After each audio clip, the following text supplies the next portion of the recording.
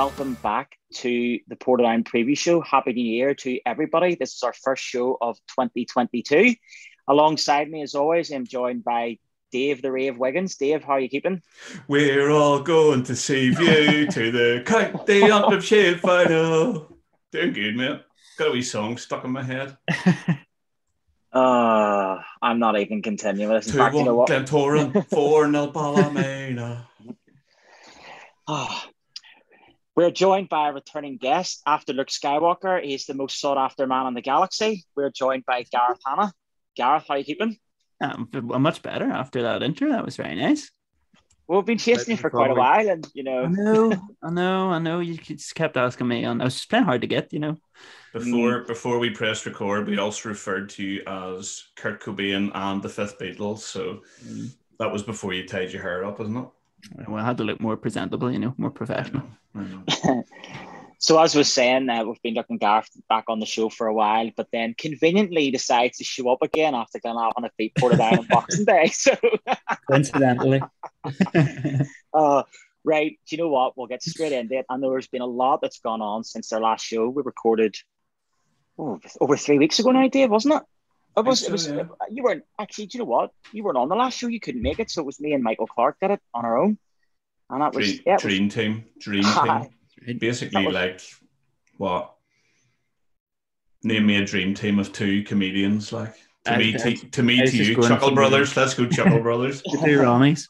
I was just going for it's good night for me. Um, I was just thinking Harchester United. And you said Dream Team. Yeah. Oh yes, indeed. That's going back. Well, that's a wee throwback here.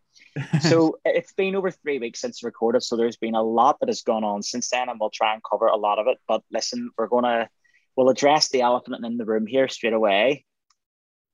Well, it wasn't even Boxing Day. Boxing Day plus one, Portadown, unfortunately fell to defeat at Shamrock Park against our fierce Mid Ulster rivals Glenavon. Now that morning, well, Gareth, before that morning, we were speaking, and you were saying you were going to be gutted because it was going to be the first Mid Ulster derby at Christmas you missed in years, and then the Cliftonville Crusaders game got postponed. And do you know what? I saw your tweet, and I could just see that.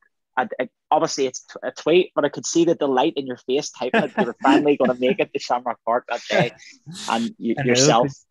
Yeah, I haven't missed a, a derby since like I started supporting uh, the the team that I grew up supporting. um, And Avon. Let's just call let's, let's just call a spade a spade. very good, very good. Boom, boom.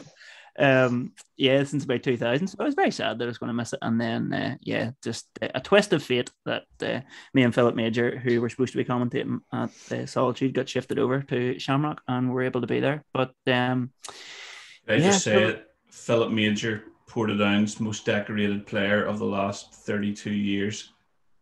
Gareth Hanna, Glenavon's most decorated player of the last 32 years.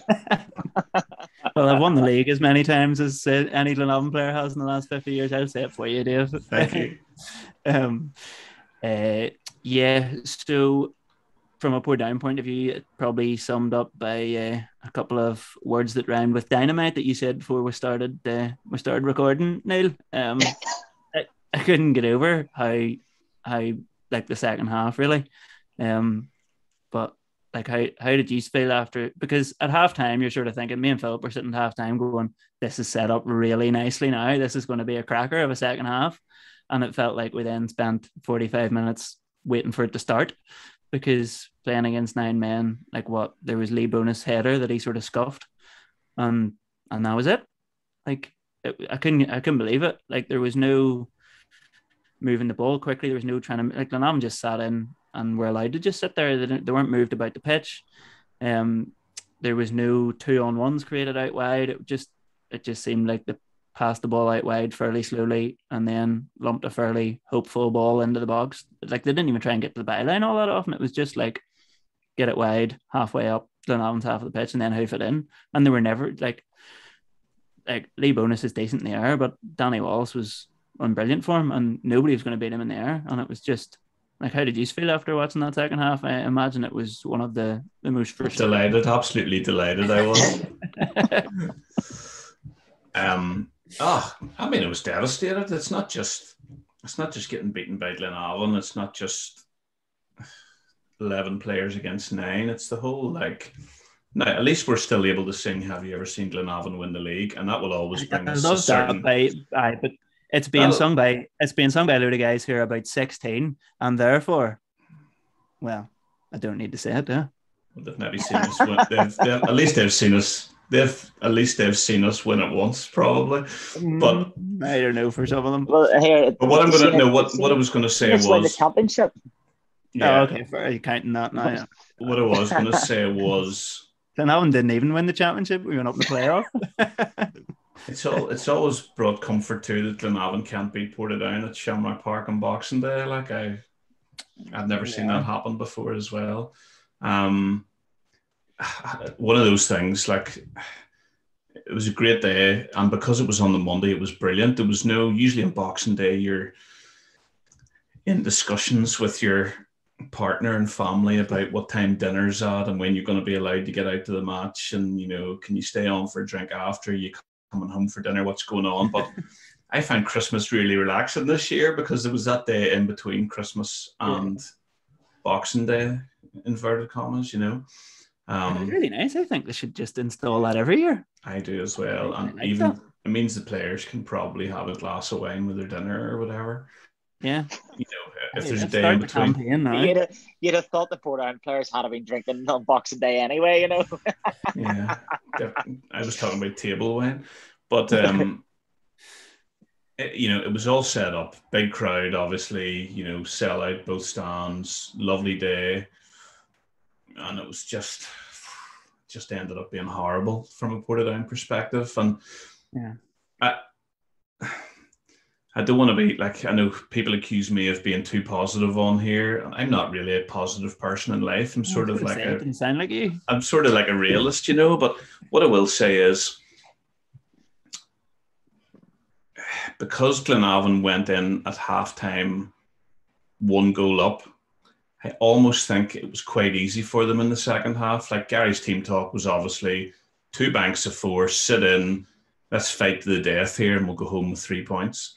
And that's exactly what they did. And Gary compared it to winning two Irish Cups, which gave me a little smile because, I mean, come on, like, Yeah. um, I know he was only geeing the fans up and making the most of all the excitement. And um, obviously, then a couple of days later, there were a few videos circulating of Gary and certain social clubs singing anti Portadown songs. But why not? let let the fella enjoy it. He enjoyed he enjoyed winning the league with us and the cup with us, and enjoyed taking a good wage out of Shamrock Park. So he's entitled to do whatever he wants. Like I, I was devastated. Like it was just a total sickener. And actually, from about 15 minutes into the second half, I don't know who was standing beside the stage. It was just like, I don't even think we'll get a draw here. You know, it just didn't Yeah. look like happening.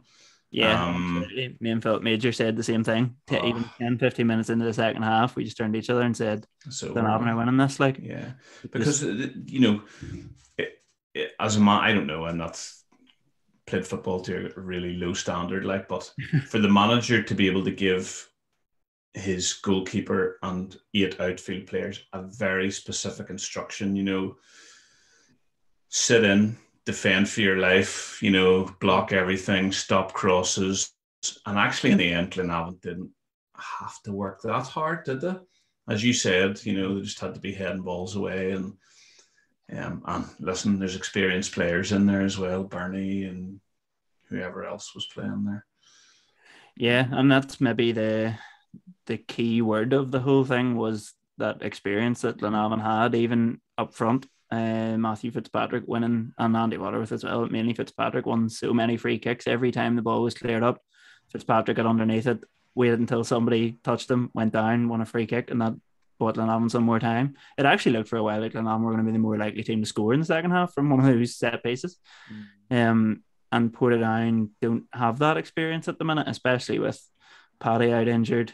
Um, even Luke, I know he's still young, but he's like he's a, a leader in there, the leader in there, and he's missing. And like Philip counted up nine players where we're sitting watching the second half that would be in and around Portadown's first team that weren't there. So like I mean, you take nine players out of Glenavon's starting team and maybe it'd be the other way around. Glenavon wouldn't have too much experience in reserve either, but um Like I I do just- think that. Like I know, like Portadown fans are obviously going to have been really disappointed and probably angry after watching that, um, because it was Glenavon, because it was Boxing Day, because it ended that record, and that you were against nine men for forty-five minutes and couldn't really create a chance. But, um, I think you do have to take into account the amount of players that we're missing. Like it's not.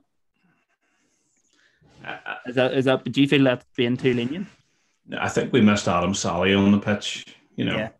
Yeah, he's the main. Um, Yeah, but I mean, it just didn't happen for whatever reason. It just didn't happen. Like, and it was really disappointing. Even from the fact of you know you get a big crowd in, you know if if it had been a great match, you know you had two sentences off, um, a former player who we have a bit of history with scoring Glenavon's goal. You know, if you come out in the second half and you score a couple of goals and you maybe get a late win, a lot of that crowd who don't come every week maybe turns up at your next home match and you know gets a bit of a Yeah. gets a bit of a buzz for it that they're not just coming back on Boxing Day or whatever. Um, so that was disappointing for me too. You know, just people going home disappointed and maybe not really enjoying it. I know. Listen, us boys who watch Irish League every week, it doesn't matter what if it's a high quality match or a low quality match. We come back, we love it. But if you want to encourage others, you need to be winning. You need to be scoring goals and people having a good time, and um, that was part of it as well. You know. Yeah, it's definitely a missed a, a missed opportunity in that way. But I do think Adam Salley's a, a key point as well, and that probably on a a wider scale for Portadown and just how much they do miss him because even like Portadown actually started okay in that match. Like wasn't it Arsene missed a couple of like how Arsene scored. Arsene scored. Scored, yeah, of course, yeah. Um, Um, never, never touched the defender. Like with never touched him with both of his hands. Um, but he Yeah. finished it well, and actually because because there was so much noise in the stadium, I think uh, our section of boys who were singing celebrated for a good sixty seconds before they realised that you know it was a foul. uh, Um, but yeah, you like you really do miss Salley in there. Lee's cuts a fairly uh, lonely figure when when Adam's not there. I find all too often, even when Portadown are sort of trying to get on top a little bit, like there doesn't seem to be anybody that really supports him when Salley's not there. yeah, I think yeah, and over the last while they've been enjoying playing together and. Yeah, Um, they formed a bit of a partnership there as well. So I just think he was missed. Um, yeah, because up Yeah. until the goal, like did Glenavon look like scoring? Not really, not at all. Nice goal to be fair. Nice wee bit of It was interplay, quality. wasn't it? It was, yeah. it was absolutely top quality from Peter Campbell and from Fitzpatrick as well. And that, Aye, he played the one two, didn't he? yeah, that was the difference. Like, really, Glenavon didn't look like scoring. It just looked like somebody's going to have to create something with a, that little bit of quality. And Peter Campbell had it, and Portadown didn't. And maybe that just says what what's lacking at the end of the day. Like Portadown are what they're third bottom of the league and looking like it's well, it is a relegation battle now, and they just need that little bit. They need experience in this transfer window. Howard Beverland's a good, a great start at that, and they need that little flash of quality as well, just that little bit of X factor. Somebody who can do something different, something unexpected, because Portadown didn't do anything unexpected in that second half. There was nobody sort of picking out that crafty pass or taking it past somebody. They just need I mean, it was un- it was unexpected that we didn't score at least one goal against nine players. Like that was But was unexpected. it? But was Yeah. it though? Was it? Well, at half time it was like. I No, you're right. You're right. I think Glenavon going down to nine men was the worst thing that could have happened to Portadown. Because this season, whenever the onus is on us to take the game to the other team, we hmm. have struggled. Whenever we're the underdog against the likes of Linfield, Larne, um, Cliftonville, we have performed really, really, really well and dug in and you know Yeah. got a got a few draws. Yes, when those teams have been attacking you, coming at you, and Yeah. yeah, yeah. Mhm. Whereas Glenavon, they have Sean Ward, a brilliant, experienced player.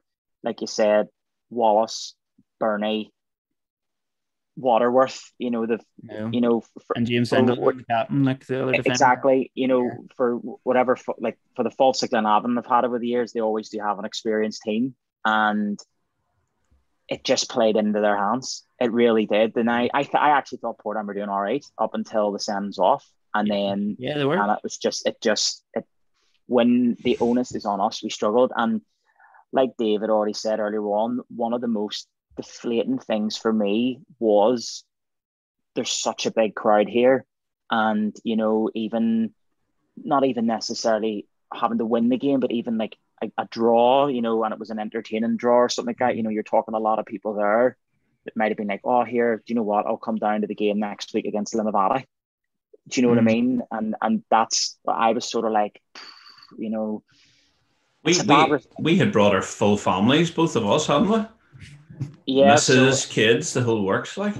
yeah. So she, she actually said They'll not be back though. she was like, "What have you brought me to?" no, to be fair, Kirsty, she did actually really enjoy it, um, specifically the chippy fan.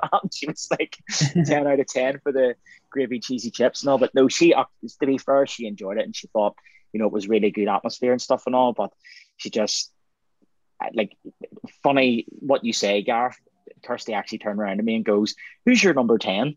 And I was like, Lee Bonis. She goes, That boy does some amount of run, but there's no one else running with him. And I was like, yeah, I know. Could have got on the podcast for that. Uh, uh, she Really better, sounds. in, better insight than us three, anyway, I'd imagine. But um, and then the- another thing, another the- thing she said, sorry, was with Glenavon. She was like, "Who's your man at the back with the long hair?" And I was like, "Danny Gareth Wallace." Hanna. Gareth Hanna. Oh, That's not the back of the hair. stand. Oh, Oh, that back of long hair. Oh, And uh, That's not long hair. she, she was like, "He's." She was like, "He's hateful."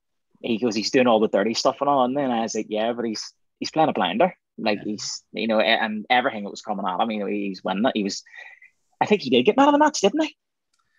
Uh, yeah, did he? he well, he should have done. Gary Hamilton said I, I think he did. Matt Fitzpatrick was man of the match, but I like I think it was Wallace. Um, I thought Danny Wallace, but I thought he was superb and brilliant, like, but he was brilliant for Warrenpoint. Every time I saw him last season as well, to me, he's Glenavon's best signing during the summer. Like the boys from Linfield got all the attention, but um, Danny Wallace is the best of all of them for me. Just think he's an absolutely top drawer centre half. He's one of the best in the league for me. I think he's absolutely superb. And from obviously, I haven't been at all the Glenavon matches, or I've only been at a few, but um, by all accounts, he's been been doing that all season. Like, yeah. I'm just going to say the first time, my first date with my now wife, Mel, was in the year 2001, and I took her to Shamrock Park and we stood in the terraces under the shed.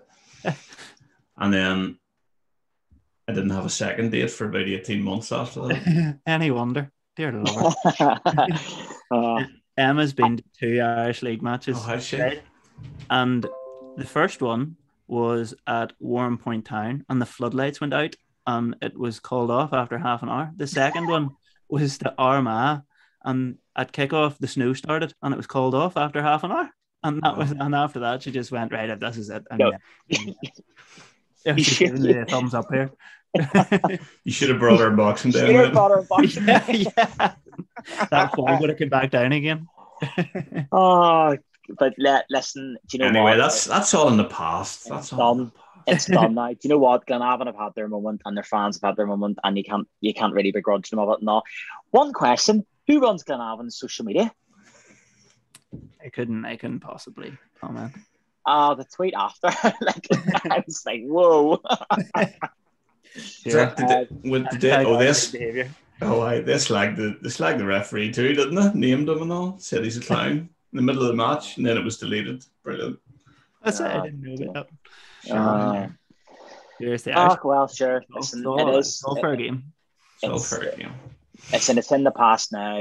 Um, I was going to say, you know, you just have to sort of dust yourself down and get on with it, but then the Ballymena, I think, got tanked as well. So it wasn't, it hasn't. Do you know what? I, listen, we didn't deserve anything from Ballymena, and I'll tell you why. Why were we wearing yellow against a team that plays in sky blue? But see, in fairness, uh, that kit's fantastic. It is, is but that's that is besides the point. Jason, you have you have questions to answer. Oh, man, if Crank. I, oh, Jason's going to come down on you like a ton of bricks, man. Has he not been on the podcast yet? It's a joke that that man, a man that does so much for the club, has not been asked on the We don't have a we don't have a quick enough bleep machine. Just it, Uh, there wa- it, I, I'm not going to speak for Jason. I'll let you. I'll let him DM you. I do know the answer because I was in with him, and I was like, "Oh," he's like, "Ah." Uh, I'm only I'm only winding, Nick. Um, it is a beautiful kit to be fair, but listen, I know we joked about it on the show before. You're right, but we're when I- football purists, man. but we went up to Ballymena and we never get anything at Ballymena, do we? And it's always freezing cold.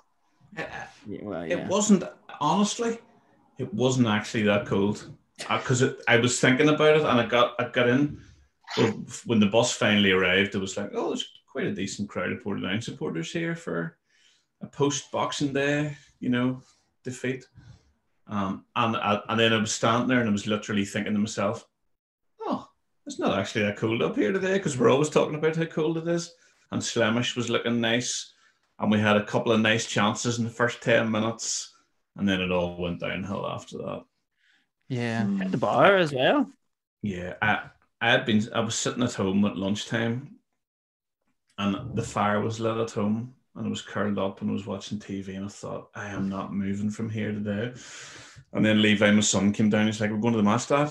I was like, "Oh, I don't know, son, Moa. Oh, come on, let's go to the match." So he actually encouraged me to go to the match. So it actually it was all right. It was a nice wee day out. Do you want to You know talk about the football or? Uh, you know what? I don't even want to talk about the match anymore.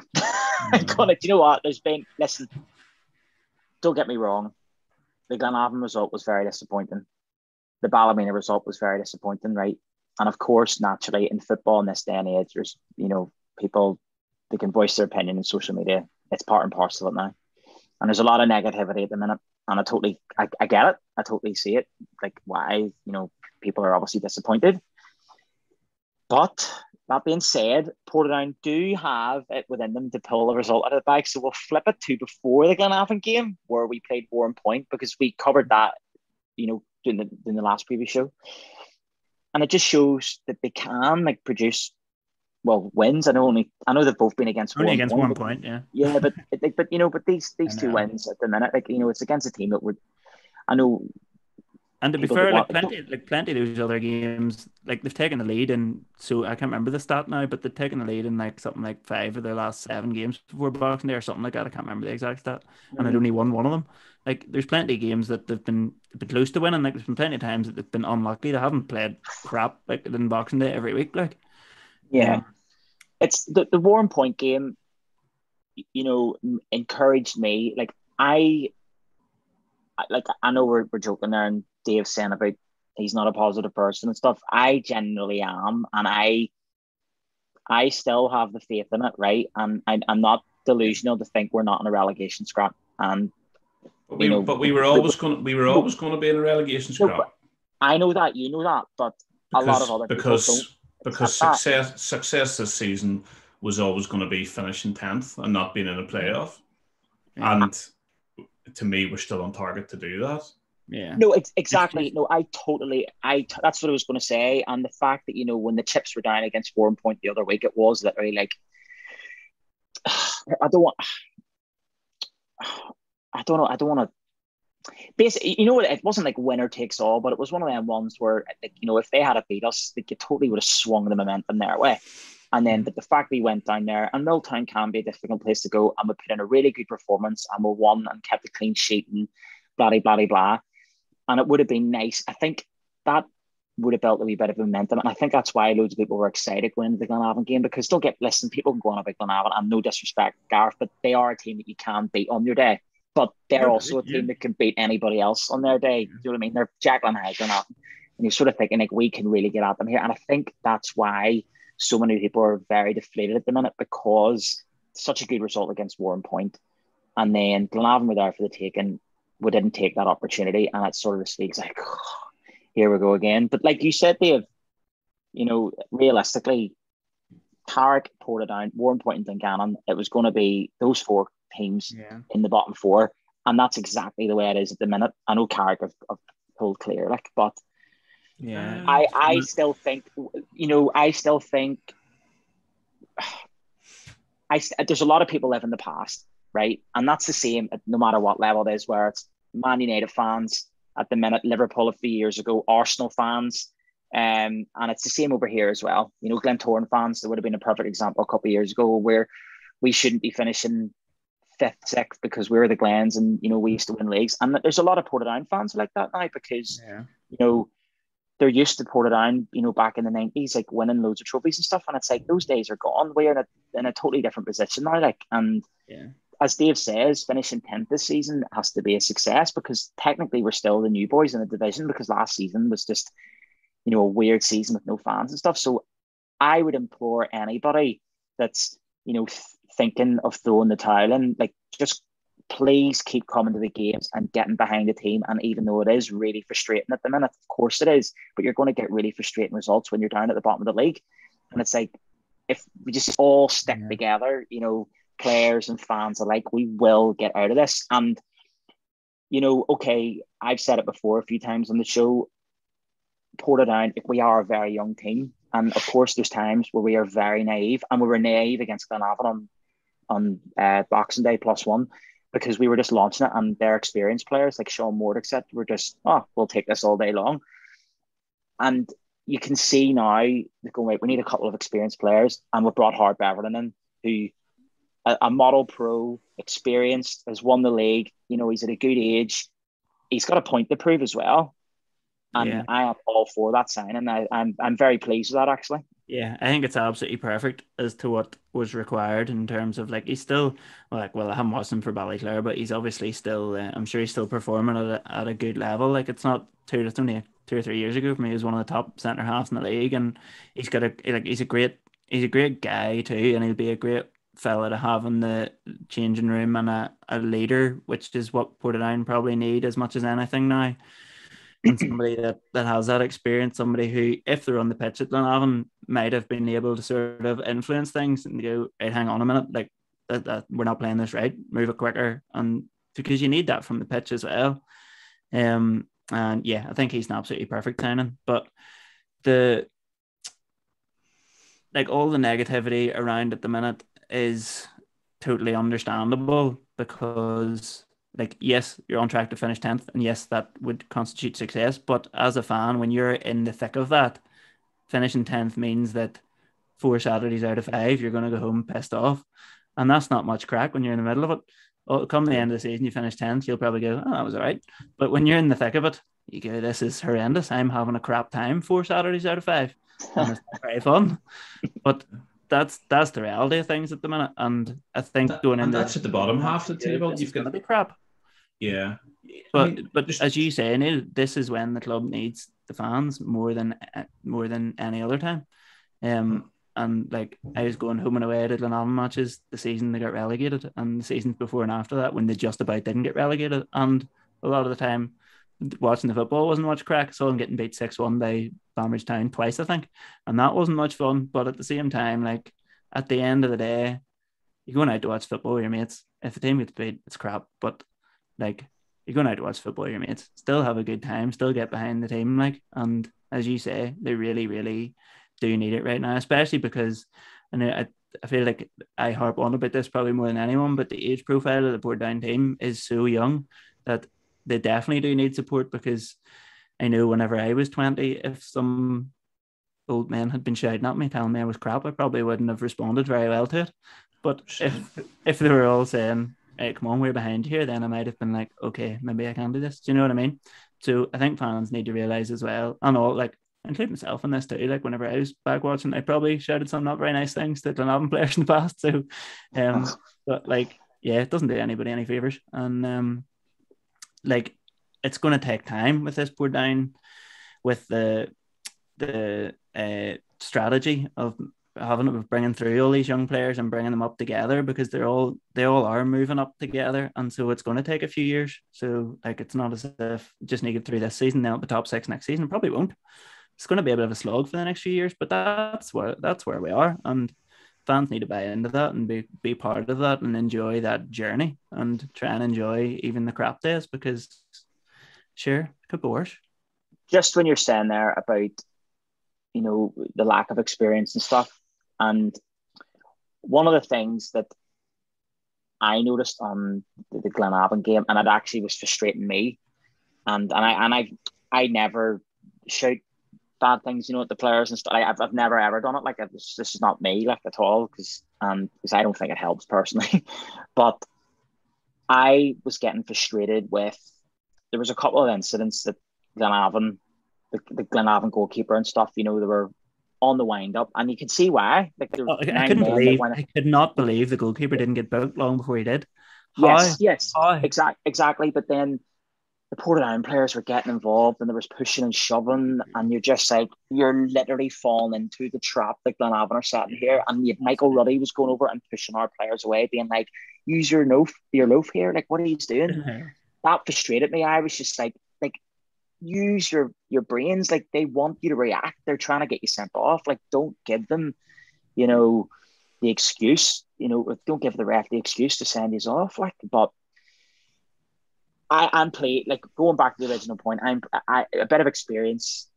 Howard Beverland, I'm very pleased um, with Dave. We've also added Jamal Dupree, um, who um, was previously at Waterford down south, and uh, Jack Smith um, from Derryaghy. So tell us a bit more about those signings.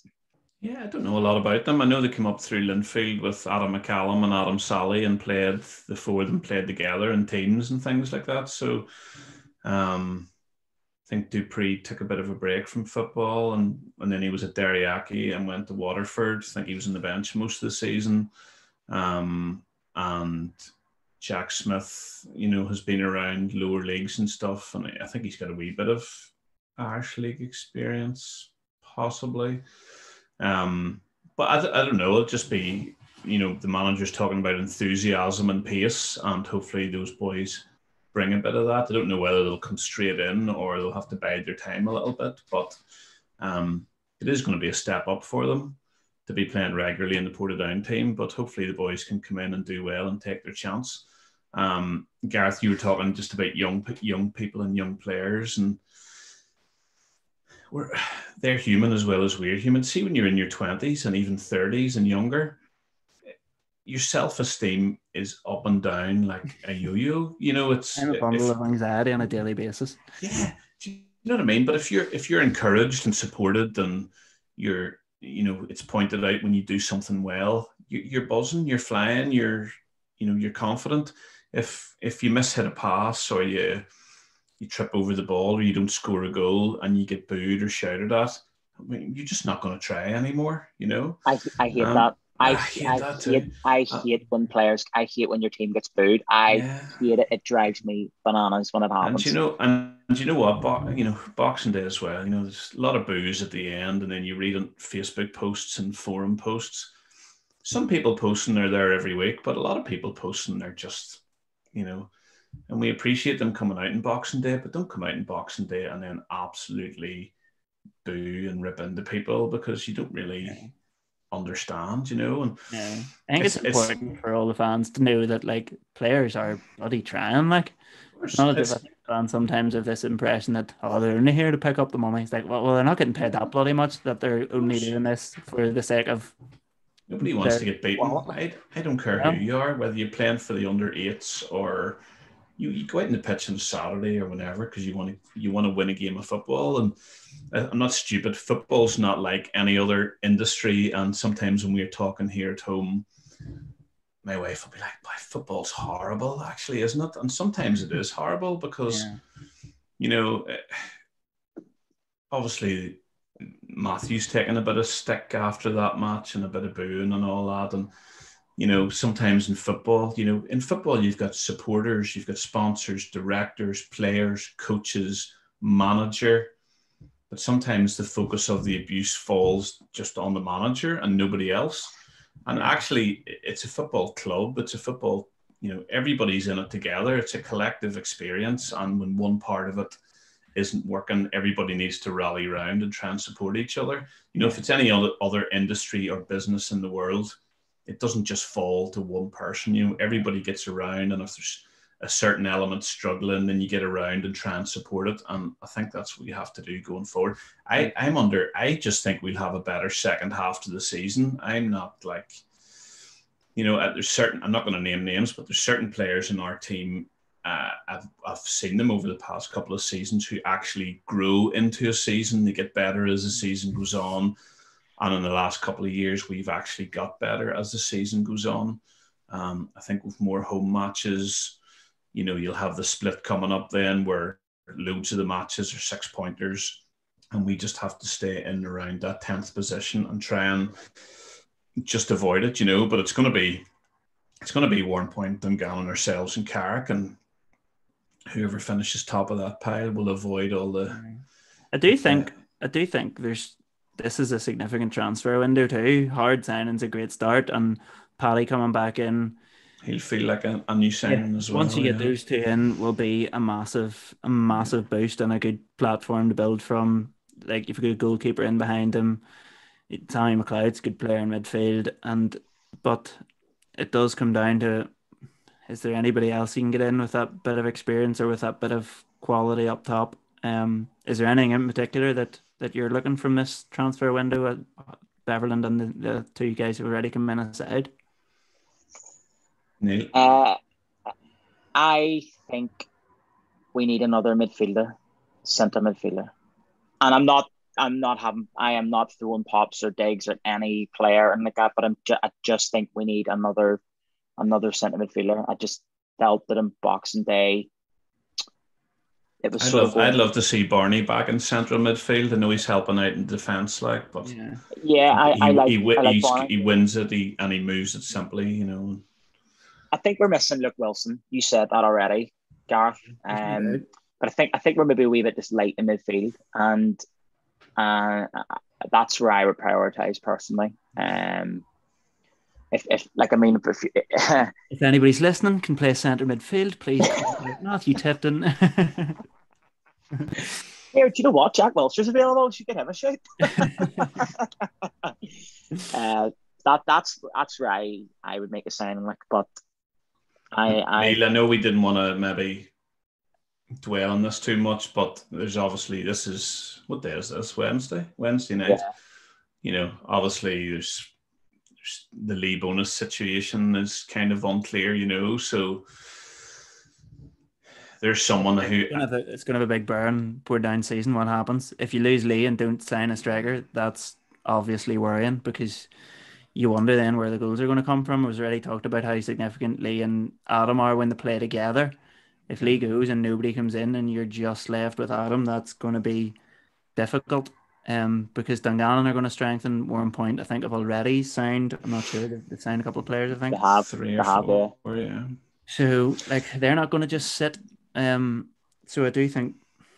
Well, like, don't even Matthew Tipton doesn't need me to tell him that. Um, he, he needs. Uh, you need something, and he can't afford to lose Lee and get nobody in return.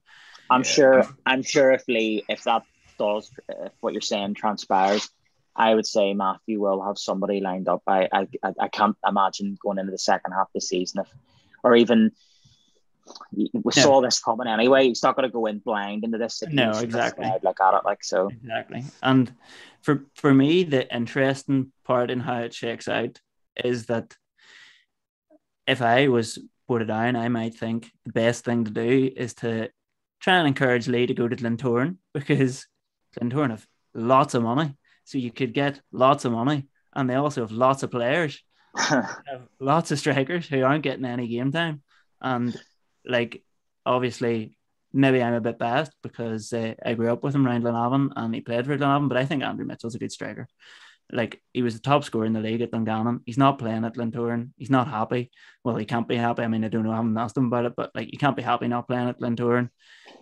Andrew Mitchell's a very good replacement for Lee Bonis, and I have no doubt could score a few goals. I don't know whether he whether he'd want to go to Portadown, whether it could happen, but for me, if I was at Portadown now, I might think this is the best outcome we could hope for. But the flip side of that is, if I was Lee Bonis, the club I would not want to go to is Glentoran because you're not going to play. They have the best striker in the league and they have plenty more besides him. So you're not going to play.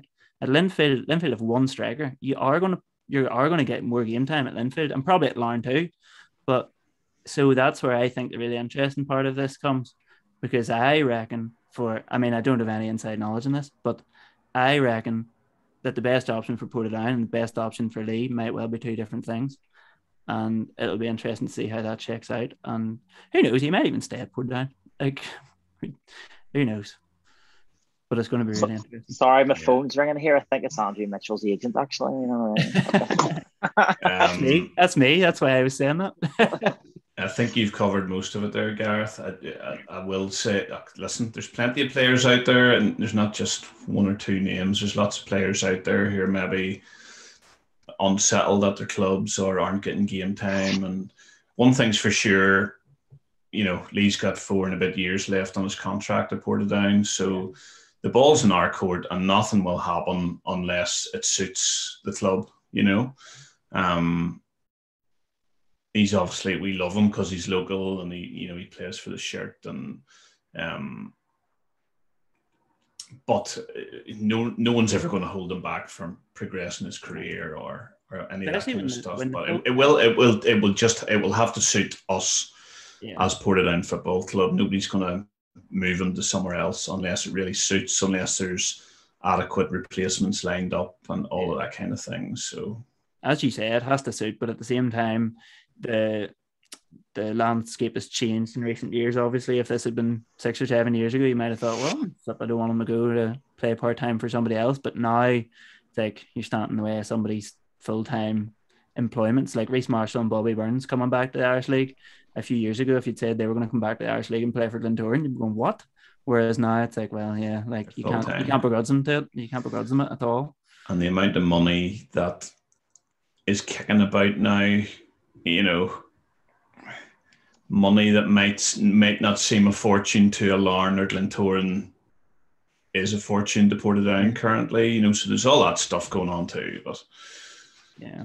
Well, um, obviously in the last sort of few days, um, I don't know if it's the same on your boys, uh, on your boys' Twitter feed, that it seems to be a lot of people that you don't follow or whatever. Their garbage is coming up on your feed on a regular basis. Is this just Hey, well, maybe I was starting to see your tweets. Boom! You're never coming on the show again. I actually I actually deleted well, firstly I unfollowed every single person on my Twitter and then I deleted my Twitter and then three days later I started a new Twitter. So I don't follow anybody. I'm, I've got one follower who's Stephen Hines, Portadown under 20s manager. I'm never going to tweet mate, but I do appreciate the follow. Like, Right. So I don't know if you have noticed, but recently on Twitter, it seems to be that people you don't follow, like, and it's it, all their stuff appears on your feed, and, and it's it's people from similar interests and stuff. So Yes, obviously, yeah. mine comes up. It's a lot of Irish League stuff comes up mine, Mhm. and a lot of it is Glentoran fans, right? For some reason, that loads of their stuff comes up, and it's the same people day in day out talking rubbish, right? And I see a load of them tweeting and being like, "Oh, how are we paying? We're going to be paying, and hopefully this doesn't happen. Like, but how are we going to be paying this amount of money for the bonuses, this and that, and blah blah blah blah. And it's just like, hold on a sec here. Your club have been bought over by a millionaire. So if you want our player who is under contract for another four and a half years and is a very good young player, you're going to pay the money for him. It's not going to be like it might have been back in the day. Oh, the Glens want this player. We'll get him, no sweat. You want the player, pay the effing money. right? Just put that up in social effing, media. the oh, effing money. No, but right.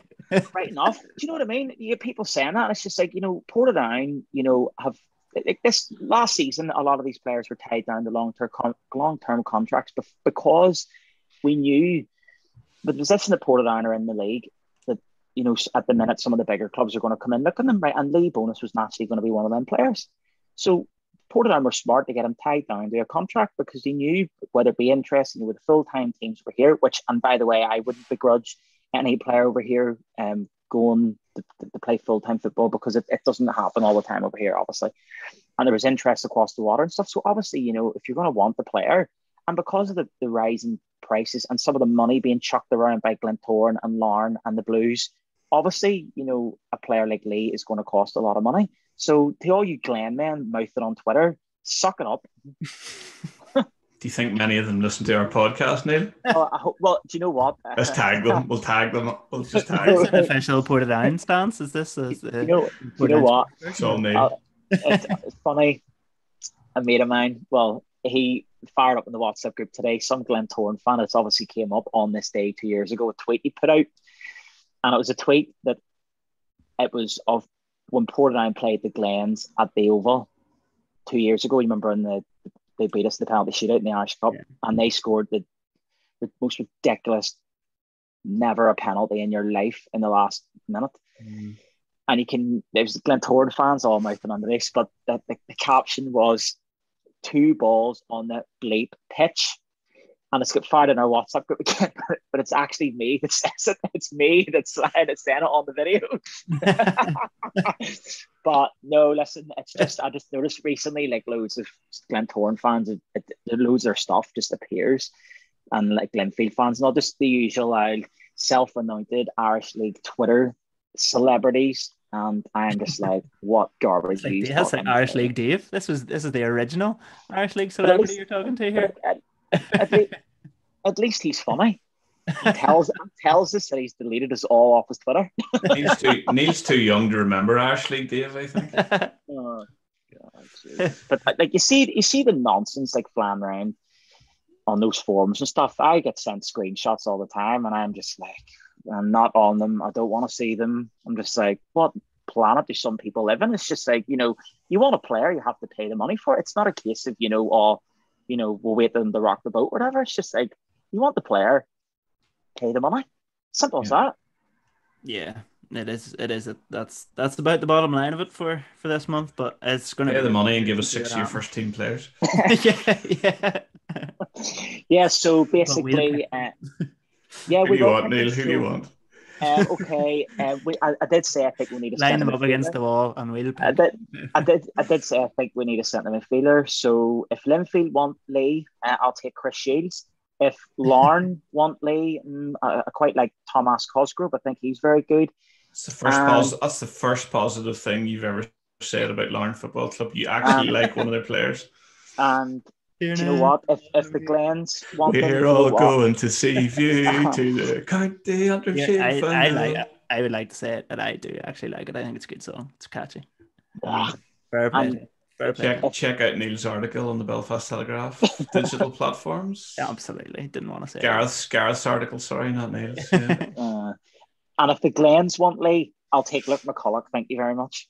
He's injured. He's injured. It's a terrible I'll still choice. take Not him. even going I'll to still play him him. until next year. Oh, thank goodness you're not the manager. Goodness. So Gareth, Gareth, before listen. player. before I- I'm just I'm I'm clicking here that a lot of our watchers and listeners, a lot of um, won't won't have realised what we're referring to. But yesterday the news broke that Larne have brought out a single for their County Antrim Shield Well, to be fair, final. to be It's fair, just some guy. It's not It- Larne. yeah, it's a Larne fan has done this just uh, Yeah. to support his team and fair play to him. Absolutely. But I was just going to say, um, you you had a bit of a chat with him today, and I a chat with him today. Yeah, he's a really nice guy, and he just said that uh, he he owns a gym, and uh, the players been coming using it, and then through that he's been going to the games. And Kenny Bruce, telling Kenny Bruce he's a singer, and Kenny sort of said, "Oh, you should write a song for us." So he's like, "Ah, sure." So he did it for a bit of a laugh last year, and then he's done one for the County Shield as well. And uh, are you are you prepared to sing the chorus of it right now?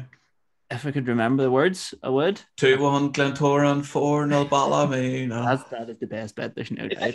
Listen, I am telling Mark to no, no, I'm telling Mark to edit this bit out of the podcast. Like this is this is a Portadown show. This is not a show to, to No, you promote can, you can you can throw in a wee bit of general Irish League banter, like From Irish Yeah. League days. it gives us a break Never from the it gives us a break from the doldrums of eleventh position in the league, like you know. The Is it doom and 11th? gloom. It's not tenth. Is it eleventh? Eleven. Is it eleventh? Oh mm. my word! I need to look at the table again. I didn't realize this. So uh, Do- one, do your one thing- preparation, Gareth. Like Sorry. So it is eleventh. Dear bless us all. one thing I will say as well, you know, like Portadown, we seem to be able to give teams, well, apart from Glenavon last week, we seem to be able to give teams a game at Shamrock Park. And I was actually saying to Mark Beatty there last night, before the split, four of Portadown's last five games were all at home. So oh, yeah, oh yes, absolutely. Yeah. with with with, with plen- well, there's still plenty of games like, but um, but yeah, Yeah, But I think unless- Portadown are going to be all right. Um, I I do too, I do too. I do. I'm really interested to see who else comes in this month because, well, I, I think hopefully there'll be more, and uh, yeah, I think they'll be all right. Um, I hope. Apparently, Rashford's a bit unsettled at the minute at United. so- um, yeah, I just feel bad for Tippy at the minute. I think is my overriding feeling about the whole thing because, like, there is a lot of negativity about on social media, and somebody mentioned it earlier that some of it's now being directed at him. But like, these people here saying these things don't see what goes on in the background and don't see the work that goes in. And like, Tippy's arrived at the club, and like, correct me if I'm wrong, but he's in he's arrived with a vision for the overall club. Like, he hasn't just come in. Taken a bit of training and turned up for a match on a Saturday. Like he's embedded in everything to do with Portadown and is trying to shape everything to do with the club with a long term vision. And the fact that there's a few shite results at the minute, there people are saying the manager should go from like it's bigger than that. It's a bigger project, and I just I genuinely do think that it's gonna come good in the end. Um, and well, like as good as things can realistically be for clubs like Portadown and Glenavon now. Not saying they're going to win the league because, well, we are where we are. look look look at across the water, right? And I'm speaking this because it's my team over there. Look at what Arsenal, right? Look at the stick Mikel Arteta was getting, right, from like so many people. And he was getting hammered and hammered and hammered. People like, oh, he's got this game to save his job. If he doesn't, he's gone. He's gone. He's going to get the sack, blah, blah, blah. And then it's the patience Arsenal, you know, stuck with him and the patience. And now, like you said, Gareth, you know, you vision and for the long term mm. future and you build from the bottom up. And now you can slowly see it happening. You know, Yeah. it, it what my problem with football fans in general, like all across the board, not even just Irish League, England, whatever, it's people are far too fickle and short term. Like you, you it, and, and for me that is fundamentally wrong all across the board. And I, I emotion. No, it's just people acting on emotion, which like which is understandable too. But um, I keep thinking of six weeks ago, there was Glentoran fans climbing over the fence to try and get Mick McDermott out of the club, and now they're probably going to, they're probably going to go on and win the league. Like, I know this is it. uh, This is- I said Linfield at the start of the season, and I'll stick. with- I'll stick. uh, I said I'll still stick with that. I said Glentoran, listen back, mate. Who won? Glentoran. Four nil Ballymena. Oh dear. Right, listen. Let's forget about the league because Portadown have a, uh, another game this Saturday. We're playing Limavady United in the Irish Cup. So, you know, uh, it's always We'll good be there, oh, we'll be there. it's always good to go on a cup run. Uh, and you know, this is a competition. You know, you know, Portadown should be targeting. You know, because there's always you know the odd scalp here and there. Like so, Gareth, what what should the Irish Cup? It's I'm sure it's always a fun time. You know, for journalists and stuff to report on and stuff because there's clubs in it. You know that you wouldn't usually expect to be there and stuff. So, Yeah, what's what's your take on the cup? I love it. Absolutely love it. Especially fifth round. Well, first round day. They've changed it. This is no longer fifth round day. This is now first round day. Know, The- that- the that is- rounds before Gareth, that has- I don't know. I hate that. Mate, that's bothered me so much. That's just awful. scrapped a hundred years of history or Awful. whatever. Beyond awful. Like, yeah, horrendous. But I'm gonna call it fifth round day anyway. And uh, uh, it's the best. I love it. I, it's the best day of the year for me. I actually can't work this Saturday, which I'm gutted about. But um, it's uh, yeah, it's the best day of the year. And uh, well, fingers crossed, we're down get a win. Um, they need to. At ho- it's in a home dilemma valley, isn't it? Yeah. Yeah.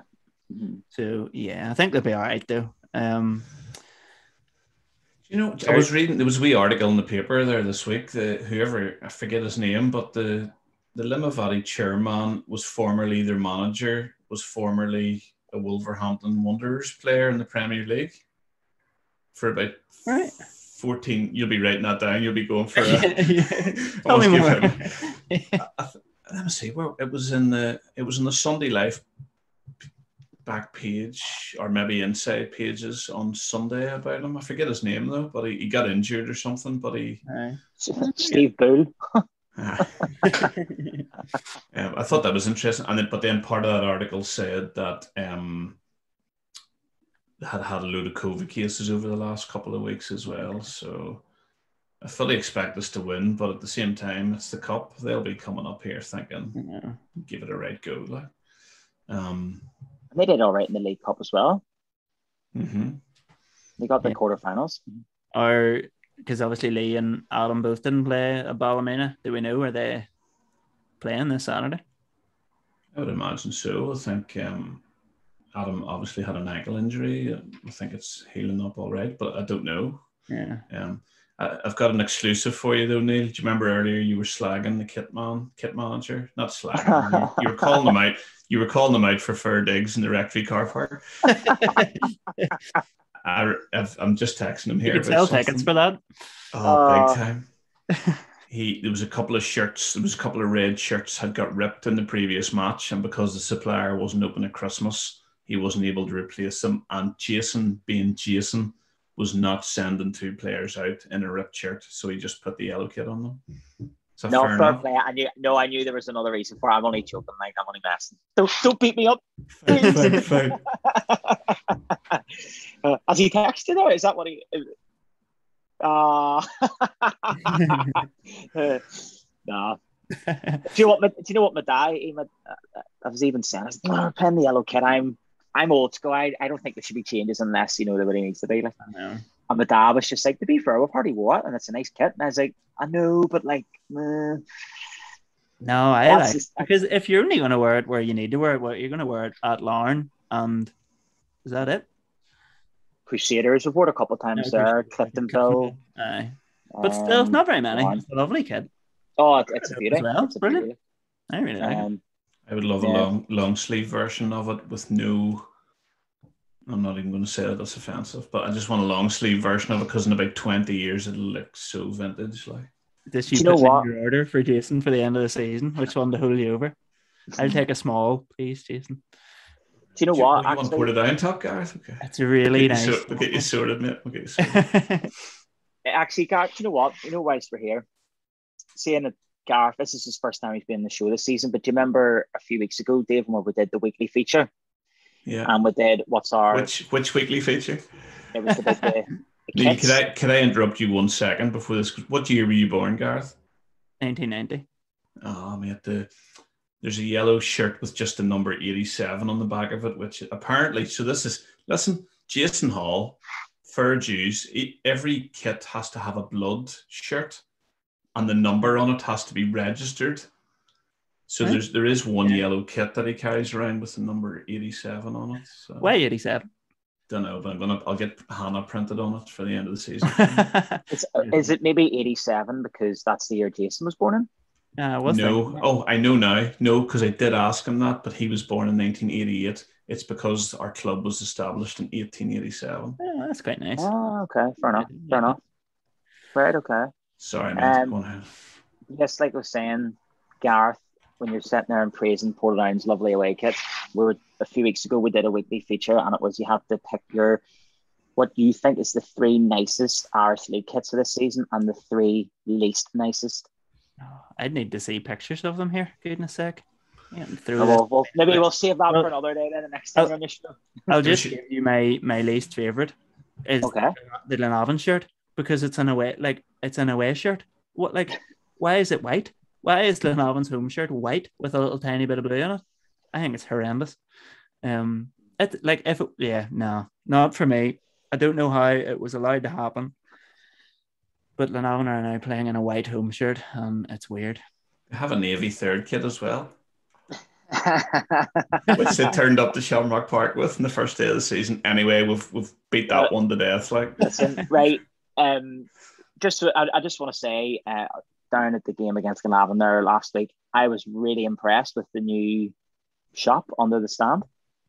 Yeah, it's been opened up. Really, really impressed. So I again implore any Portadown fan to, to, go and check out the new the new shop underneath the main stand and speak to Gary McNally and uh, we get you sorted with all the latest Portadown merchandise. And the new retro range is actually magnificent. Wouldn't you agree, Dave? The Phoenix range, oh, there's some class wee bits in uh, it. Like, there's a wee pair of swim shorts would suit you well, Neil. I'd like to see you in those sometime. oh, hey. Listen, uh, no, um, David Jamison Jr. and Gary McNally, uh, Gary's the shop manager. They've, they've worked hard at clearing that room out. Um, used to be tumble dryers and washing lines and everything in there, so they've worked they've worked hard at putting radiators and clearing it up. And Gary's there all the time, uh, just rearranging stock and putting stuff out and taking orders. So that is a real. I mean, any club, it's a real key thing to for cash flow, isn't it? Really, and um, yeah. Check out the new club hat. How nice is that as well? It's it's a lovely color and it's warm. It's a nice tight one. I like a nice tight It one. is. Have you been bet you given free hats to plug these? No, flips. It's free hats. Are you joking? Oh, I bought I bought three of them and I got a pound off. Thanks, Gary. and you should be grateful for it too. No, know. yeah, no.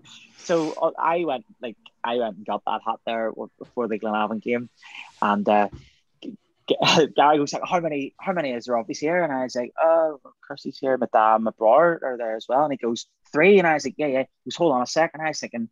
He's gonna give me three of these new hats here this is absolutely brilliant. give me three Santa hats. Is, is he giving out the Santa hats? I need those for the next Santa Hat Saturday Yeah. in 2022. so no, no, right enough. Um, folks, check out the, the new club shop. It's actually brilliant. So I, I'm really impressed. Um, definitely one of the best in the league. Like so, there's some really really nice stuff there. So yes, And where is it, Neil? It's moved, hasn't it? Yes, it's under the main stand there. And once you go past the boardroom and stuff, and then where the bars and all, it's on your left hand side towards the, the end of the stand. And I, I was very impressed. I think it's it's really neat and tidy. Like so, uh, all Portadown fans should go and, and check that out and spend a lot of money on it, please.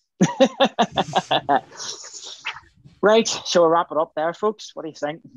Yeah, can I just say that the um, head of the road player of the month for December 2021 is Greg Hall. Well done, Greg. You had a brilliant December. Um, closely followed by one or two others, but I think Greg just playing in a variety of positions and clearing things off the lines and just being consistent. Uh, he really deserves that. So I think we're going to sort him out this Saturday with his tankard and his uh, meal voucher for the head of the road, which is a great little country pub restaurant out in Tartaraghan, out to Dungannon Road, out of Portadown. And thanks to John Lawson for sponsoring that. Yes, indeed. Gareth, thank you very much for coming on the show. It's always a Thank you pleasure very much having you. for having me. Thank you very much for having me back on, despite uh, me turning you down twice before now. It's uh, good to be back. Gareth, I, I've got one very important question for you. So you and Oh, Philly. Major turned up at Shamrock Park on the Boxing Day. Who did you kick out of that seat to, to turn up at Shamrock Park on Boxing Day? Uh, like, it wasn't my fault. It wasn't my fault. Peter Cinnamon was supposed to be doing the match. Was it? Um, Peter's there all the time, isn't he? He's there quite often. He, he was there watching, so I'm sorry, Peter, if you're listening. It wasn't my fault. These things happen when you're, yeah, happened to me in the past too. You just get shunted. Listen, someone like Philip Major gets priority every single time he walks into Shamrock Oh. Park. So What a man. What a He's man, good. isn't he? he's good on the radio, isn't he? Like Oh, he's class. I love him. He's, he's got uh, a face for it. Like We're the new Joel and Liam. Their history. Me and Philip. nah, nah, listen, me and Philip have done co-coms before in the Oh, live stream. Like so. No. No, if he had, if we made him pick, he'd choose me. Oh, right, right. Well, listen. Here, you're saying about me and Hallball having a fight out the back of the stand. Maybe you two have a fight over Philip Major then. I wouldn't. Gareth, Gareth, anybody would beat me in a fight. it's a, I, I- it's a it's a wrestling match. You've got uh, Gareth Hanna, Dave Wiggins, Philip Major hanging above the ring in a shark cage. never mind that. What's it? He's got some sort of stupid Twitter handle, hasn't he? Yeah, I Starts can, with X. I can never find him on it. Yeah, it's something weird. Find him. Xana Dumman one. Uh, something like that. Yeah. What's that? I'm asking him right now, man. Who's Hey, before- better, me or Gareth Hanna? Oh, Flippy's got back there straight away to say it was me. Like,